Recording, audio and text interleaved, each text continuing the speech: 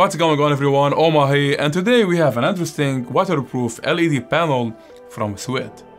Swit sent me this unit to review here on the channel, however my review is completely unbiased.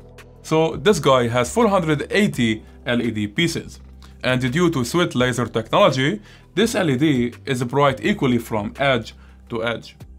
And this is by the way at 1% brightness and with the large panel like this size you get a softer light as well. And because it's thin and slim enough, it becomes an ideal portable light for interviews and video production. Oh my, and let's put this guy on test.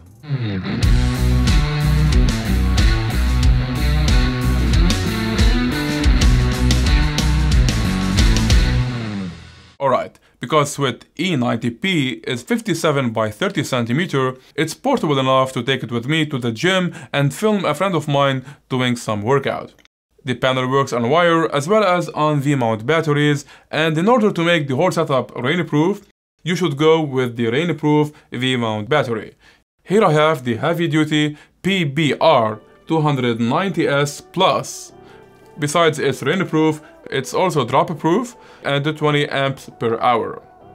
Anyway, the LED panel weighs about 407 kilograms and the battery is 1.5, leading in total about 6.3 kilograms. So make sure to get a decent light stand to hold the kit safely.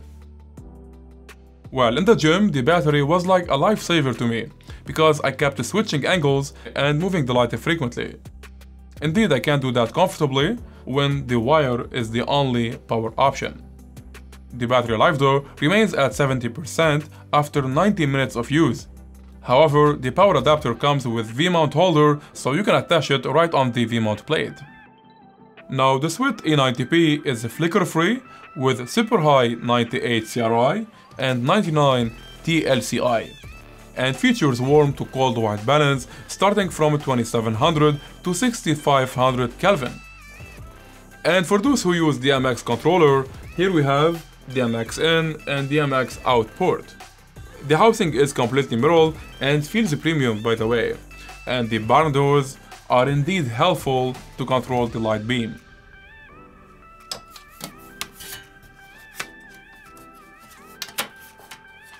Alright. On this channel, I accept product endorsement while keeping my feedback completely unbiased. Although this LED light is great and perfect, the tilt movement experience is not the greatest. Even though the tilt knob is unlocked, it's pretty hard to tilt it up or down. Probably that was just a flaw in the unit that was sent to me. And in order to fix that, you have to unloose the screw right here, upper the knob. Now I will be switching my current light setup, an LED with a softbox, to Swit E90P. Alright, now this is how the setup looks like with the E90P LED panel at 25% of power. It might not gonna be as soft as a softbox with a grid and the light might travel more to the backdrop behind me, but indeed it's a low profile setup for interviews and video production. Although Swit E90P is quite expensive, it's durable, heavy duty, and I believe it's a good investment for the video production. Always you can find more technical information on Swit official website and I will keep some links down below. Thank you for watching guys and I hope this video helped in making your decision. Thumbs up if you find this video helpful and bump that subscribe button for more camera reviews. This was Oma and see you in another one.